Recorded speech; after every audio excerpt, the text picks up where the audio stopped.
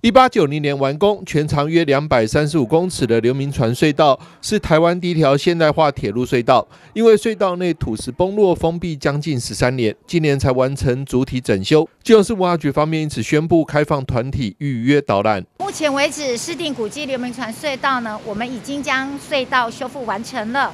那目前因为还在进行光环境的一个设置计划，所以现阶段呢是采取预约导览的机制。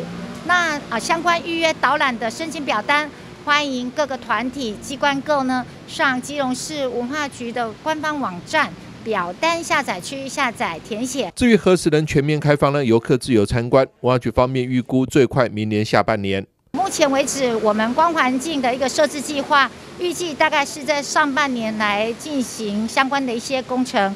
那希望是下半年前可以完成整个计划。那呃，但是。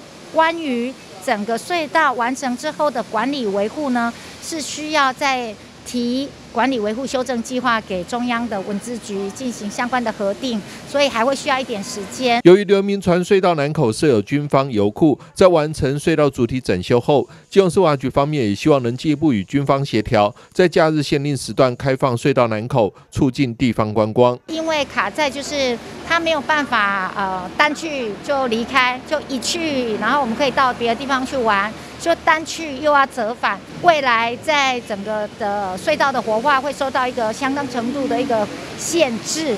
那所以我们很希望说，军方后面呢，呃呃，所谓的南口的军方的油库能够提供呃特定时间或者是特定的时段或日节日，可以供给我们来进行通行。那我相信一定是非常呃受到民众的喜爱这一段呃文化资产。